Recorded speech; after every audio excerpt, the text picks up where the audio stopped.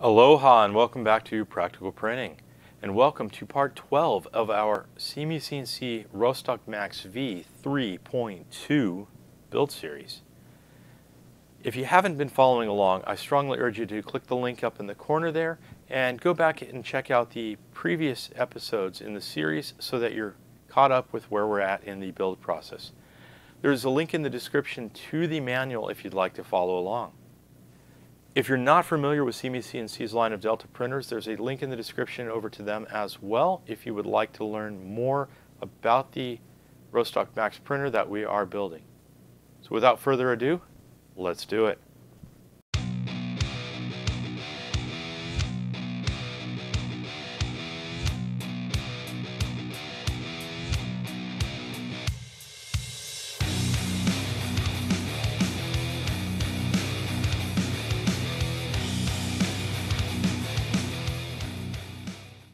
Welcome back. At the end of the last segment of the series, we just finished wiring up the Duet board and we'd pulled two wires out for a connection later to the fuse holder. So that places us at step 46. We're going to install the little wheels that hold the cover onto the top plate and then we're going to jump ahead and skip for step 47 for now and I'll explain why later and then we're going to go on to soldering up the fuse holder. So let me switch cameras and let's get started. Because you can see I don't even have the printer out right just yet. So the first thing that we're going to need is the top plate here. We're going to need four of the 1 inch 632 screws and of course the nuts. We're going to need four of the bed clips, the plastic bed clips. Well, we've got a lot of glare there. There we go. And we're going to need the four wheels that look like that. Hopefully you didn't throw those away. They were in a plastic bag taped to the box. So this is very simple. We're going to want to make sure that we have the writing up like so. That's going to be our top. Okay, so what we're going to do is we're going to drop the nut, we're going to drop the nut through the plastic piece, drop that through one of the four corner holes on this cutout, hold it with our finger and flip it over. Going to drop on one of the laser cut discs like so, and we're just going to hand tighten on one of the nylock nuts. I'm going to do the same thing for these other three, and then we're going to tighten it down. Go ahead and do that in high speed for you.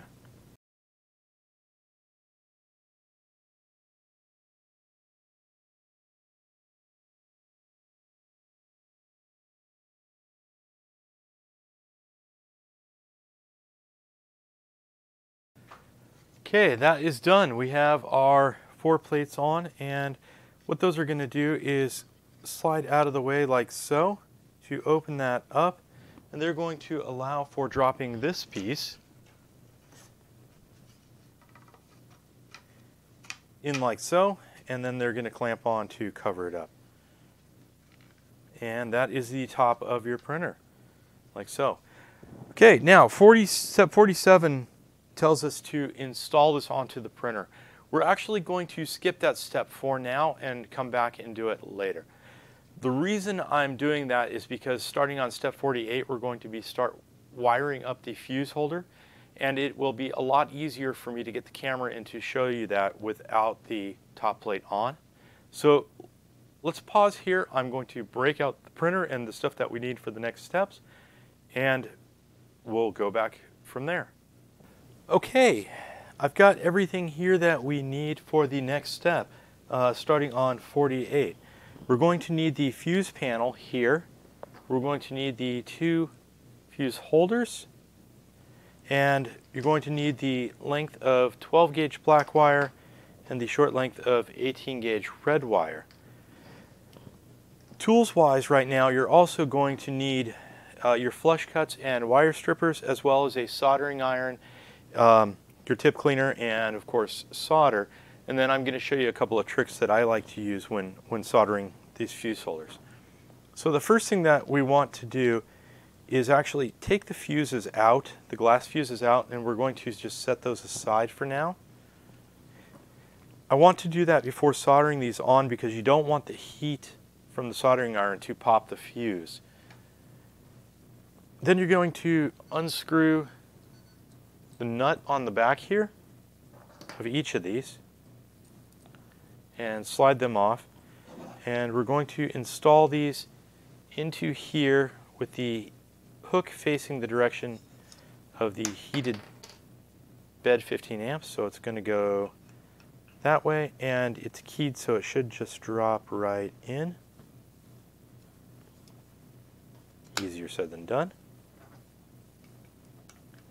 Let's do that with the other side. And then we're going to flip it over and of course I forgot to remove the paper. How do you like that?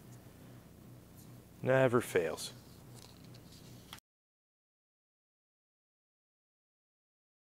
Wow, how did I miss that one?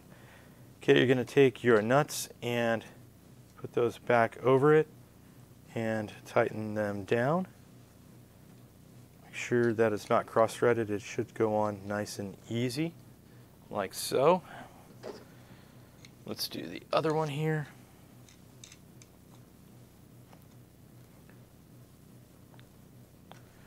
Nice and easy like so. Okay, now let's look at the top. This side is the hot end and this side is the heated bed. So we're going to flip that over. So hot end, heated bed. Okay, and the red is going to go to the hot end side, the black is going to go to the heated bed.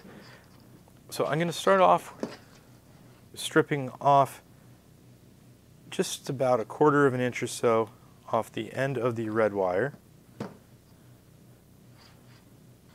Do a little twist and then I'm going to do the same for our black wire here. Just about a quarter of an inch or 3 eighths or so. Now we have two wires to solder onto these and actually let me show you. There's two tabs. There's this main tab here and there's another tab here. This tab is going to be the hardest one to get access to. Oh, you can't see that. The main tab and then this top tab. This one's going to be the hardest one to get access to when it's up on top of the printer here. So we're going to go ahead and solder these two wires to the top and basically treat that as our input. It really doesn't matter, but I'm to uh, which one you use, but I think that'll just make it a little bit easier. So I'm going to try to prop that up with something to keep it from sliding over.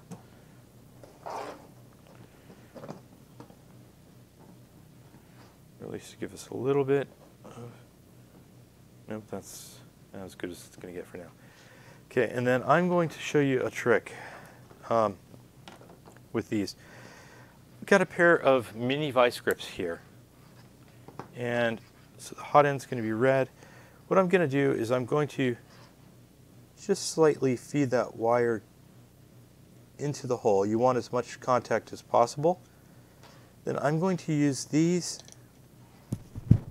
to kind of pinch the wire in place like so, so I don't have to hold it. And let's try to get that to go upright.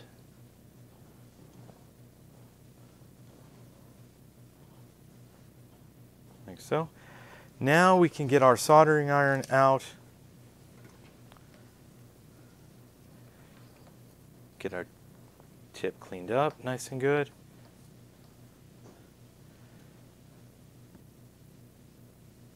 Get a little bit of to tin it.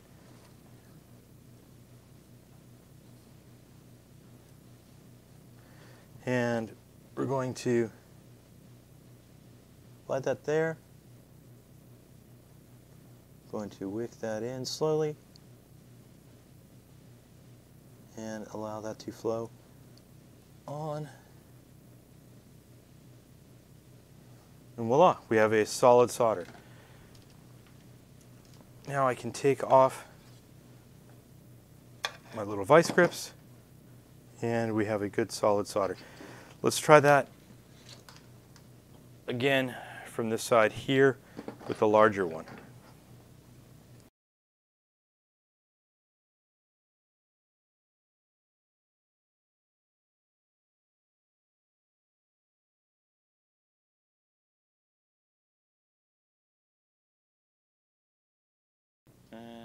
That's hard to show.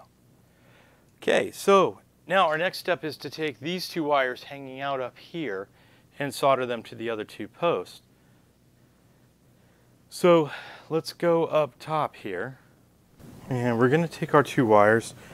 I'm not going to remove any length from these. We're just going to strip back about the same amount of wire.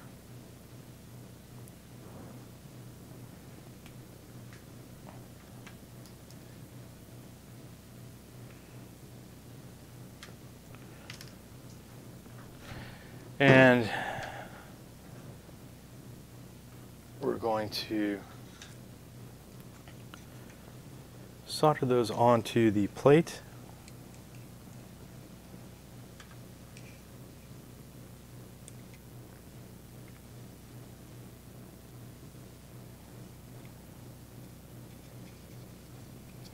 Now this one is a little bit harder because you don't have anything to clamp to. What I can do, while that's still warm,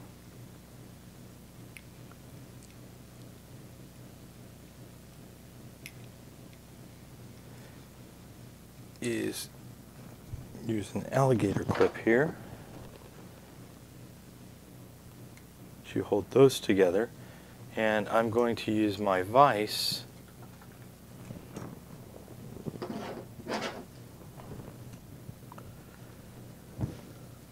You can't see this yet, but I'll show you in just a second.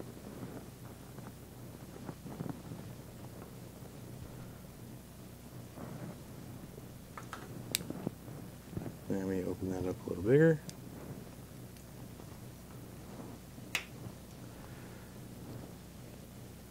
Okay, so I used, there we go. Just use an alligator clip to try to hold these wires together, like so. In fact, I'll use two of them. And the same vice grips over here, uh, you can't see it in the picture, but the same vice grips that I used to hold the wire around down at the other side is what I actually used to hold this plant, uh, this plate to the top here like this. So let's try to get this through here again.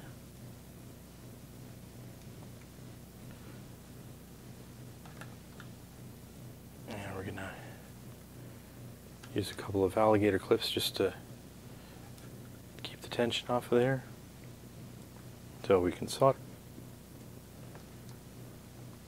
I'm going to take set on needle nose and try to maximize that so that we have the most contact between the wire and the tab and now we get to have some fun with solder.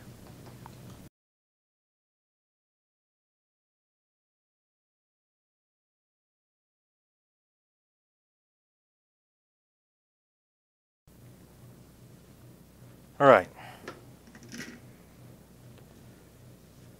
That looks good. It's really hard to do it at this angle. Now we're going to do the same thing with this one, and this one should be theoretically a little bit easier.